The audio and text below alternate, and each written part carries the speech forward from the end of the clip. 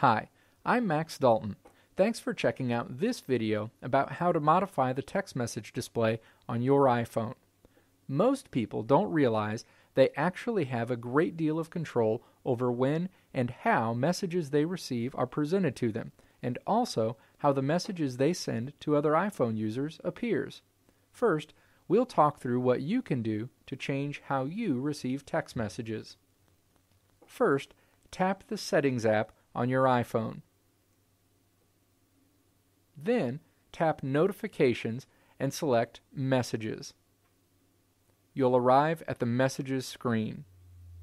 Now, tap the toggle to the right of Allow Notifications until it is shaded green to turn on and activate notifications on your iPhone. Move the Show in Notification Center toggle to the On position to display notifications for messages that you receive in your phone's notification center.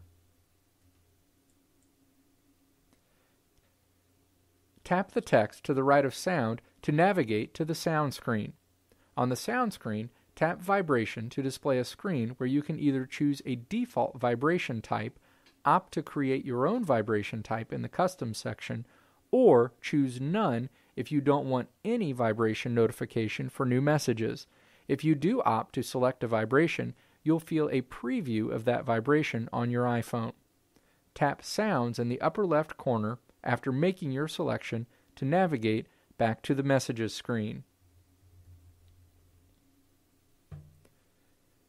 Turn on Badge App icon to display a red indicator in the upper right corner of the Messages app that displays the number of unread messages you have.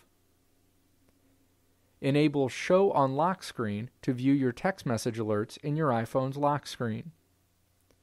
Select Show Previews and choose whether or not you want a snippet of each text message to be displayed in the text message notification bubble.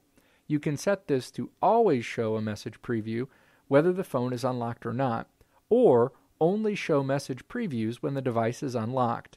Tap Message in the upper left corner after making your selection.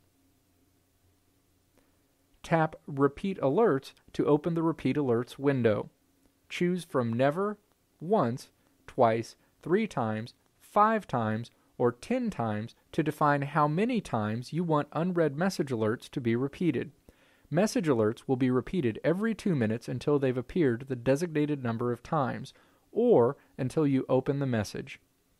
Now let's talk about the process for altering how text messages you send are displayed in the Recipient's Messages app. Tap to open the Messages app. Click the new message icon in the upper right corner of your screen.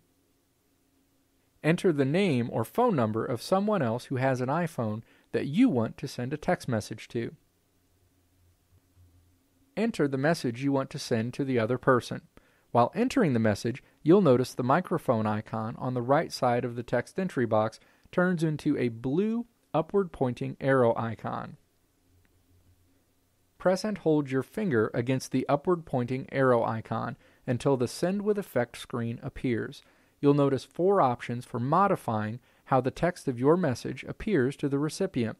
Selecting Slam causes your message to fly onto the user's screen. Choosing Loud causes your text message to appear momentarily large and shake before reverting to normal size. Selecting Gentle causes your text to initially appear small and get slowly larger. Choosing Invisible Ink causes your text to be blurred out by dots that will only be visible after the recipient rubs a finger against them, making the text readable.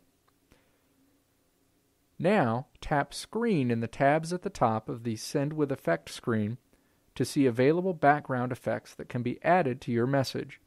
Swipe from left to right to cycle through the seven available options, and then from right to left to work back to the beginning of those options. Available backgrounds include balloons, hearts, lasers, confetti, and more. Now you can send your message to the recipient, who will only see the additional display options if they also have an iPhone.